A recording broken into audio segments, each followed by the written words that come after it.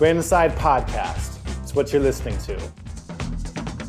คุณกำลังฟัง Brand Insight Podcast Podcast ที่อยู่เอาข่าวธุรกิจมาเล่าให้ฟังในแง่มุมที่แตกต่าง และอยู่กับผมพรหมเมธสิริสุขวัฒนานนท์จาก Brand Inside และผมบอยธงชัยชนสิริพงศ์จาก Brand Inside เช่นเดียวกันครับ คุณบอยครับ Brand Insight Podcast เนี่ยถือว่าเป็นโปรเจกต์ใหม่ของ Brand Inside เรา ใช่ครับผม ในโอกาสครบรอบ 2 ปีของ Brand Inside ในวันที่ 1 สิงหาคมนะครับวันนี้วันเกิดของเราใช่วันนี้เลยนะครับ เราเลยหยิบเอาข่าวที่น่าสนใจมาเล่าให้ฟัง วันนี้เราเอาข่าวอะไรมาเล่าให้ฟังครับ ข่าวแรกที่จะเป็นตัวเปิด episode แรกของเรา นั่นก็คือข่าวของวงในครับ ต้องบอกคุณผู้ชมอย่างนี้ก่อนนะครับว่า Brand Inside เราเป็นหนึ่งในเครืออยู่ในเครือเดียวกับวงในครับผมแต่ที่เราหยิบมาเล่าเรื่องของวงในเนี่ยไม่ใช่ว่าเราแบบจะอวยบริษัทแม่เรานะอ่าไม่เกี่ยวเลย แต่เรื่องนี้มันเป็นเรื่องที่น่าสนใจจริง ๆ และอยากให้คุณผู้ฟังนะครับไม่ว่าจะเป็นคนที่ทำสตาร์ทอัพอยู่ คนที่ทำธุรกิจส่วนตัว ครับผม หรือว่าคนที่สนใจอยากจะได้แง่คิดจากธุรกิจเนี่ยฟังเรื่องนี้กันครับ ถ้าพูดถึงวงในคิดถึงอะไรครับ ผมนึกถึงแอปพลิเคชันที่รีวิวร้านอาหาร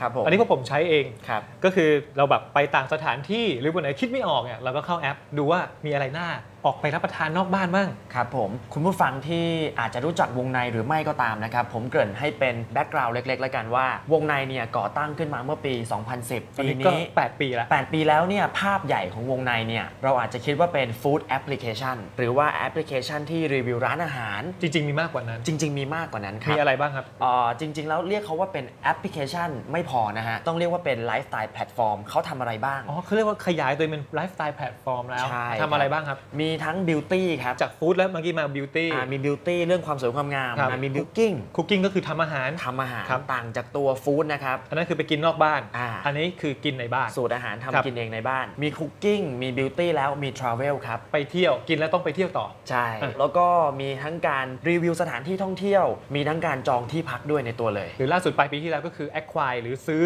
แบรนด์ Insight กับบล็อกนันเข้ามาเป็นอ่าอยู่ในเครือเดียวกัน อันนี้ก็คือเราก็เป็นสายข่าวครับก็คือ Blognone ข่าวไอที Brand Inside ข่าวธุรกิจการตลาดก็ครับมาอยู่ในเครือของวงในด้วยเหมือนกัน แต่ครั้งนี้จะเป็นครั้งสำคัญที่วงในจะ transform ตัวเอง ใช่ครับ คือวงในก็พยายามปรับตัว แล้วก็ขยายตัวเองไปในตลาดใหม่ๆ ตลอดเวลา แต่วันนี้ที่เราต้องหยิบเรื่องของวงในมาพูดกัน ก็มาจากงานวงใน Connect 2018 ครับครับซึ่งเป็นการรุกตลาดใหม่ที่เรียกว่า POS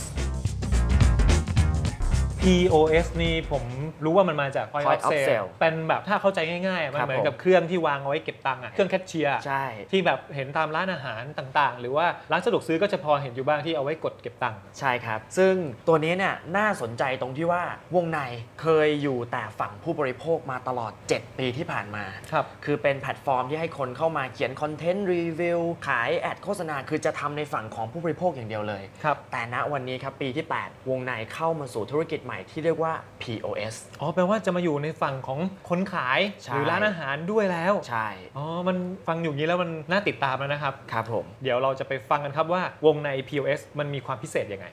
สำหรับวงใน POS ตัวนี้เนี่ยครับมันมีความพิเศษ เพราะว่าวงในไม่ได้ทำเองทั้งหมด แน่นอนแล้วครับ วงในเขาประกาศเลยครับว่าเขาได้ไปลงทุนในสตาร์ทอัพจัดการร้านอาหารที่ชื่อว่า Food Story Food Story เนี่ยก็คือบริการเกี่ยวกับ POS ใช่ครับผมก็คือตัวฮาร์ดแวร์เนี่ยแหละ ตัวใช่ POS เลยฮาร์ดแวร์แล้วต้องบอกว่าซอฟต์แวร์ด้วย มีระบบข้างใน ใช่ ที่เป็นระบบเกี่ยวกับร้านอาหาร การใช่ครับบริหารจัดการทั้งหมด ใช่ดังนั้นพอวงในที่เชี่ยวชาญในเรื่องของแอปพลิเคชันครับผมในเรื่องของร้านอาหาร มารวมเข้ากับฮาร์ดแวร์ของ Food Story ซึ่งวงในลงทุนใน Startup Food Story เนี่ยนะครับ1ล้านดอลลาร์อืมตีเป็นเงินไทยก็ 30 ล้านกว่าบาทครับผมก็ทำให้เกิดกลายเป็นวงใน POS by Food Story ขึ้นถูกต้องครับตรงนี้มีจุดเด่นยังไงบ้างครับคุณบอย จุดเด่นของวงใน POS by Food Story เนี่ยนะครับ ถ้าจะต้องเล่าให้ฟังกันง่ายๆเลยก็คือว่าจะทำให้ชีวิตง่ายขึ้นครับ ไม่ได้ง่ายแค่ฝั่งผู้บริโภคนะครับ เพราะอย่างที่บอกว่าวงในกระโดดเข้ามาเล่นฝั่งผู้ประกอบการร้านค้าแล้วครับด้วย 3 บริการ ง่ายที่หนึ่งก็คือว่า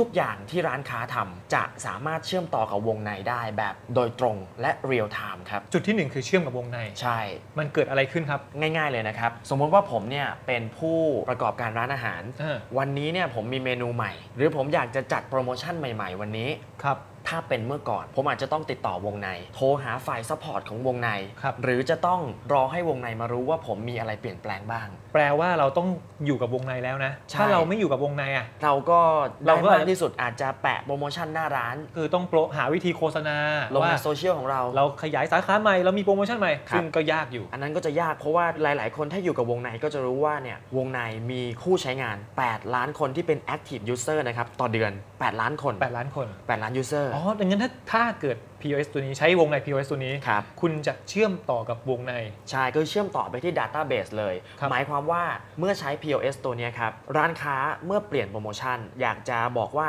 มีของใหม่ ๆ มาในร้าน มีข่าวสารใหม่ๆอยากจะบอกกับผู้บริโภค สามารถอัปเดตข้อมูลขึ้นไปบนแอปพลิเคชันของวงในได้โดยตรงเลย อ๋อข้อมูลมันก็จะเหมือนกับถูกพุชมาที่ตัวแอปพลิเคชัน ใช่ซึ่งอยู่ในมือใช่ ของผู้บริโภคได้เลย ใช่ นี่คือ ผู้บริโภคก็เห็นแบบเรียลไทม์เลย ครับทำให้เกิดเขาเรียกไงวะอ๋อมีรู้ว่ามีโปรโมชั่นใหม่ รู้ครับว่ามีอะไรใหม่ๆ เราก็อยากจะไปลองได้ใช่อืมตัวนี้ก็เป็นการกระโดดเข้ามาเล่นในตลาดที่มันเป็นตลาดที่ใหญ่มากขึ้น แล้วก็ไม่ได้ติดอยู่กับฝั่งผู้บริโภคที่วงในเป็นมาตลอด นี่คือแบบที่ 1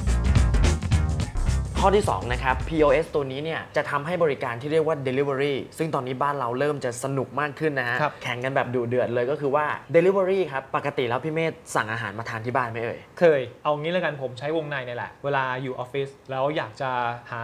อะไรแปลกๆ ทานหน่อยครับก็รวมเพื่อนๆมากดแอปปั๊บเรียกซื้อเลยอืมใช้วงในกับไลน์แมนครับเขาจะผมร่วมมือกันอยู่ใช่ไลน์แมนวิ่งไปซื้อ ผมก็จะต้องบอกว่าผมจะซื้ออะไรบ้างใช่จากเมนูครับไลน์แมนเขาก็จะซื้อครับผมแล้วก็เอามาส่งอ่าผมก็จ่ายตังค์นี่คือแบบเดิม แบบที่เป็นอยู่ แบบที่เป็นอยู่ที่ครับเราใช้โดยที่ไม่มี POS เป็นตัวกลางนะครับครับก็คือว่าอยากจะกินอะไรสั่งออเดอร์เข้าไปไลน์แมนจะเป็นคนรับออเดอร์ แล้ววิ่งไปที่ร้านค้า แล้วสั่งร้านค้า แล้วร้านค้าทำ แล้วไลน์แมนเอามาส่งหาเรา ความผิดพลาดจะเกิดขึ้นได้ ตรงที่ไลน์แมนต้องเป็นคนรับออเดอร์เราฮะ ไม่เคยเกิดกับตัวเองครับผมแต่เคยฟังเพื่อนมายังไงเขาบอกฮะว่าบางทีสั่งแล้วเนี่ยเมนูหมด อืมคือที่ร้านขายดีไงหมดแต่ไลน์แมนไม่รู้ ไลน์แมนไม่รู้เพราะไลน์แมนเพิ่งไปสั่ง ใช่พอสั่งเสร็จปั๊บอ้าวเมนูนี้หมดครับไลน์แมนต้องโทรกลับมาถามเราว่าเฮ้ยเมนูนี้หมดเราก็รับรู้แล้วนะ เราจะเอาเมนูอื่นไหมบางทีมันคิดไม่ออกไงใช่มันมันกระทันหันเกินอะมีสถิติบอกเลยว่าครับการสั่ง Delivery ผ่านไลน์แมน1ครั้งนะครับ1ออเดอร์เนี่ยจะต้องมีการ phone call ทั้งหมด 5-7 ครั้ง นี่คือค่าเฉลี่ยนะฮะอืมซึ่งถือว่าสูงถ้าเราต้องการจะบอกว่าเราเป็นออนไลน์ ที่เชื่อมต่อกับออฟไลน์ บริการแบบที่เป็นสิ่งที่เรียกว่า seamless experience หรือว่าประสบการณ์แบบไร้รอยต่อตรงเนี้ยแบบนี้มันไม่ไร้อะดิมันมันรู้สึกแบบมันสะดุดมันสะดุดตะเข็บเต็มเลย ใช่ ใช่ไหมเออมันก็จะทำให้รู้สึกว่าประสบการณ์ แย่ลง อ่าประสบการณ์ไม่ค่อยแย่ลง ไม่ค่อยดีเท่าไหร่ แต่ถ้าเราใช้วงใน POS ตัวเนี้ยครับ ครับ มันจะทำให้เราเนี่ยสั่งออเดอร์แบบ Delivery แล้วออเดอร์จะไปโผล่ที่ร้านค้าร้านอาหารเลย ครับ ไลน์แมนก็ทำหน้าที่ของตัวเองเพียงแค่ไปรับอาหารที่ร้าน แล้วมาส่งเราที่บ้านหรือที่ทำงานอ๋อคือไลน์แมนจะเป็น Delivery ของแท้ คือ pure ๆ แบบว่าใช่มีหน้าที่ไปรับไปส่ง ใช่ คือไลน์แมนได้กลับไปทำหน้าที่ในสิ่งที่ตัวเองควรทำมาตั้งแต่แรกอยู่แล้วอืมไม่ใช่คนที่ต้องนั่งอ่านออเดอร์ แล้วไม่ต้องเป็นส่วนหนึ่งของความผิดพลาด ก็ลด error ลงไปได้ ใช่ใช่ ส่วนที่ 3 อันนี้พูดคุยกันเยอะแล้วครับ ในสังคมไทยคำว่า cashless society หรือสังคมที่ไม่มีเงินครับ ผมไม่มีเงินแล้วตอนนี้ อาจจะแปลผิดไปสักนิดนึง โอ้ผิดไปมันมันเป็นยังไงครับ ต้องใช้คำว่าสังคมไร้เงินสด โอเคสังคมไร้เงินสดครับสังคมไร้เงินสดก็คือสังคมที่ใช้จ่ายเงินชำระเงินการโอนเงินกันโดยที่ไม่ต้องแตะแคชหรือว่าเงินสดเลย อาจจะเป็นระบบดิจิตอลอ่าใช่อาจจะใช้บัตรเครดิตก็ได้ได้ครับโอเคใช้ QR code อันนี้ก็กำลังดังครับตอนนี้มันมาอยู่ในระบบของวงใน POS ยังไง วงใน POS เนี่ยก็บอกเลยว่า พอเราไปที่ร้านอาหาร ร้านอาหารใช้ POS จริง ๆ แล้วเนี่ยเครื่อง POS เนี่ยครับมันจะเป็นเครื่องที่เป็นยานแม่เนาะไอตัวที่ตั้งอยู่เป็นหลักใช่ครับครับ ตัวที่เอาไว้คิดเงิน เอาไว้เอ่อรับออเดอร์ เอาไว้สั่งอาหารเข้าไปในครัว สั่งเมนูเข้าไปตรงนั้นตรงนี้คือตัวแม่ครับแต่มันจะต้องมีตัวลูกด้วยมันมีตัวลูกด้วยเหรอ ตัวลูกคือเป็นแท็บเล็ตครับ อ๋อ เอาไว้ให้พนักงานเสิร์ฟ พนักงานเสิร์ฟเดินใช่ไปแบบที่โต๊ะได้ ใช่อืมคือต่อไปนี้เนี่ยเรียกได้ว่าเราจะสามารถเป็นร้านอาหารที่ paperless ไม่ใช้กระดาษกันอีกต่อไปแล้วครับคือลูกค้าก็เข้ามานั่งในร้าน เมนูก็ดูในแท็บเล็ตจิ้มเลือกเลยครับ แล้วมัน cashless ตรงไหนครับ แล้วพอทานเสร็จนี่ไงฮะพอทานเสร็จปั๊บไม่ต้องเดินไปที่แคชเชียร์แล้ว ก็ให้พนักงานเดินถือแท็บเล็ตมาที่เชื่อมต่อกับ POS ของวงในแล้วนะครับ ครับมาที่โต๊ะแล้วยื่น QR code ให้เรา ยื่นแท็บเล็ตให้ที่ใช่มี QR code อยู่ ใช่ แต่ความพิเศษมันอยู่มากกว่านั้นครับ คือว่า QR code เนี่ย ถ้าเราเคยใช้งานกันเนี่ย ตอนชำระเงินครับ เราส่องกล้องเข้าไปปั๊บ แล้วมันก็จะขึ้นมาเลย บัญชีนี้ ชื่ออะไร แล้วเราอาจจะต้องมีการถามเพิ่มว่ากี่บาทต้องกรอกเงินเท่าไหร่ กดผิดกดผิด กินมา 500 จ่ายไป 5,000 นี่ไง ขอโอนคืนหน่อยได้ไหมอันนี้ก็จะซับซ้อนสร้างอืมความผิดพลาดสร้างปัญหา แล้วคราวนี้ช่วยยังไงครับ POS ของวงในเขาบอกเลยครับเขาจับมือกับ SCB ครับผมโค้ดที่เป็น QR ออกมาเนี่ยจะเป็นโค้ดที่บอกเลยว่าของเงินเท่าไหร่ของโต๊ะนั้นที่สั่งอ๋ออาหารเป็น QR ของโต๊ะนั้นๆเลย ใช่เขามีศัพท์เทคนิคเรียกว่า Dynamic QR Payment เป็น QR code ที่เปลี่ยนไปตามยอดเงิน ยอดบินที่แต่ละโต๊ะทานอ๋ออ่าลดความผิดพลาดลดแน่นอนเพิ่มครับความสะดวกสบายเข้าไปอีก ใช่ นี่ก็จะเป็นหัวใจหลักๆของ POS นะครับสามคือส่วนเชื่อมต่อกับวงในครับเชื่อมต่อกับบริการ Delivery แบบไร้รอยต่อครับและก็เชื่อมต่อกับสังคมไร้เงินสดครับ เราฟังจุดเด่นของวงใน POS มา 3 ข้อแล้วครับเราได้เรียนรู้อะไรจากตรงนี้บ้างครับ ผมว่ามีหลายเรื่องเลยนะ ผมเปิดให้ก่อนเลยครับ เรื่องแรกคือเราเห็นภาพการไม่อยู่นิ่งของธุรกิจอืมเรื่องนี้เป็นเรื่องสำคัญครับไม่ว่าคุณจะทำธุรกิจสตาร์ทอัพทำธุรกิจแบบบริษัทขนาดใหญ่อืมหรือสนใจในธุรกิจ สังเกตไหมครับว่าในยุคของดิจิ t a ล disruption อย่างเงี้ยครับคุณอยู่นิ่งไม่ได้ อืมคุณต้อง transform ตัวเอง ใช่ เหมือนวงในเนี่ยมีความแข็งแกร่งในธุรกิจที่เป็นเอ่อเขาเรียกว่าไลฟ์สไตล์แพลตฟอร์มใช่ไหมก็คือมีทั้ง food cooking travel beauty ครับผม นี่คือจุดแข็งของเขาละ ใช่ แต่เขาไม่อยู่ในคอมฟอร์ z โซนของตัวเอง ใช่ เขากำลังก้าวเข้าไปผมน่าจะเรียกว่าออนไลน์ to ออฟไลน์อะอืมเขากำลังเข้าไปอยู่ในร้านอาหารจริงครับผมๆเขาไปอยู่กับร่วมมือกับ Food Story จนกลายเป็น POS เครื่องหนึ่งอ่า ที่ วางอยู่ในร้านอาหารเลย นี่ก็คือยังไงก็ต้องปรับตัวยังไงก็ต้องเปลี่ยนตัว ครับและยังไงก็จะต้องออกไปจากตลาดที่ตัวเองชำนาญ ครับ เพราะตลาดที่ตัวเองชำนาญวันหนึ่งมันก็อิ่มตัวได้ อืม วันหนึ่งมันก็ตันได้ แต่ในอีกด้านหนึ่งครับ วงในเขาก็ไม่ได้ไปแค่ในส่วนของออฟไลน์อย่างเดียวนะครับ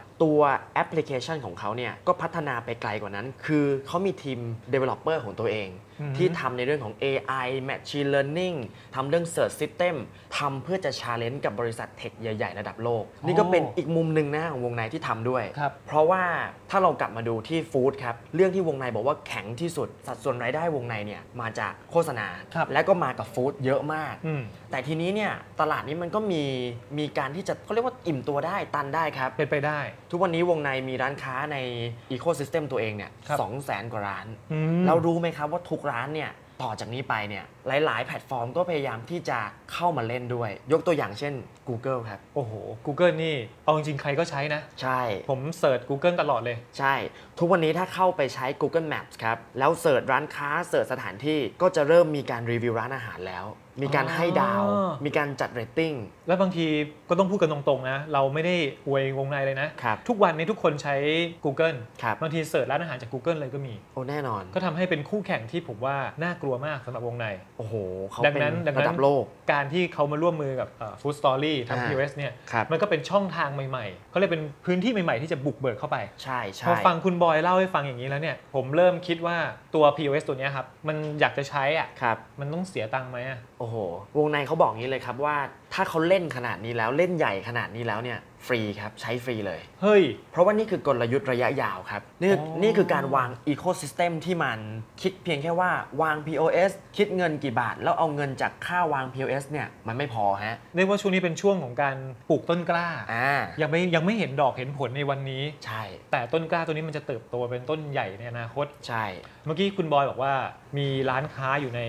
อีโค y ิสเต็มของวงในครับประมาณ 2 0 0แสนกว่าร้านค้า ใช่ ผมคิดเล่น ๆ เอางี้ผมขอแค่สัก5%นะครับ5%ก็หมื่นหมื่นล้านแล้วนะครับมาใช้ตัววงใน POS เนี่ยคือคำว่า Ecosystem เนี่ยพอเราพูดกับ POS เนี่ยมันจะขยายเพิ่มใช่ไหมฮะครับอตั้งแต่ต้นน้ำยันปลายน้ำอะอืมผู้ผลิตทั้งหลายไม่ว่าจะเป็นคนที่ส่งวัตถุดิบให้กับร้านค้าครับก็จะสามารถเชื่อมต่อกับร้านค้าได้โดยตรงผ่าน POS แล้วผู้บริโภคอย่างที่บอกครับ เชื่อมต่อวงใน เชื่อมต่อบริการ Delivery ทุกอย่างเนี่ยตั้งแต่ผู้ผลิตมาร้านค้ายันผู้บริโภค Ecosystem ของวงในในเรื่องของฟู้ดจะใหญ่ขึ้นมากครับ นี่ก็คือทำให้เราเห็นภาพการ transform ธุรกิจของวงในนะครับฟังกันมาถึงตรงนี้แล้วก็น่าจะเห็นนะครับว่าวงในไม่ได้เป็นเพียงแค่ฟู้ดแอปพลิเคชันอีกต่อไปแล้วครับแต่เขาได้เข้าไปสู่แพลตฟอร์มไลฟ์สไตล์แล้วก็ขยายตัวเองเข้าไปสู่ธุรกิจใหม่ๆแล้วก็ต้องบอกว่าแบรนด์ Insight ก็เช่นเดียวกันนะครับ ใช่ครับ การที่คุณผู้ฟังได้ฟัง Brand Inside Podcast อยู่ตรงเนี้ยซึ่งมันเป็นโปรเจกต์ใหม่ของเราครับผม แล้วเรากำลังหยิบเอาข่าวธุรกิจมาเล่า